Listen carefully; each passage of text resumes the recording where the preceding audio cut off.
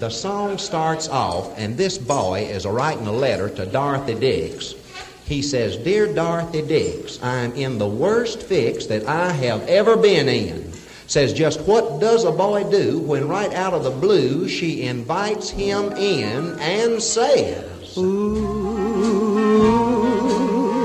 make yourself comfortable, baby. Yeah. Now you can tell right there, friends, that he don't know nothing. Because he don't. Because let me tell you something. It ain't out of no blue that she invited him in there.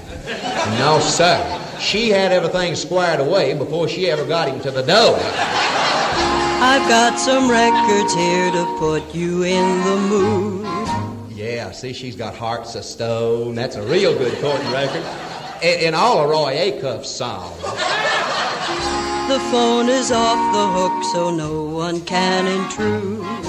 See, the reason she took, took the phone off the hook is so he couldn't get no outside help. I feel romantic and the record changer's automatic, baby. Yeah. I think, friends, by this time that it's pretty clear with her feeling romantic and automatic record changers and everything that she ain't got that boy in there to eat no cake and ice cream. all right, you all go ahead. Sweetheart, we've hurried through the dinner, hurried through the dance, left before the picture show was through. See, he spent all kinds of money on her that night. He did. There ain't no telling how much he dropped at the Bluebird Cafe right by itself.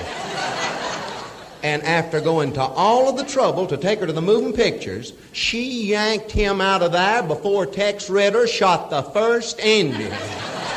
And, and why did she do all this? To leave some time for this, to hug a hug and kiss a kiss now. Look out now. Look out. See, she said right there that she wants him to kiss her. And she does, friends. She does. What I mean to tell you, she wants him to flat plant one on her. Take off your shoesies, dear, and loosen up your tie. Yeah, do you notice that she never does call him by his right name? She don't know him. She don't. They ain't even shook hands yet. I've got some kisses here, let's try one on for size. I'll turn the lights low while yeah, you hold, make... hold it right there, everybody. Hold it right there. Now, right here's his changed. He can either, while she's up cutting that light down, he can tip on out, or he can do the real all-American Semper Paratus type of thing. And I'd do it if I was him.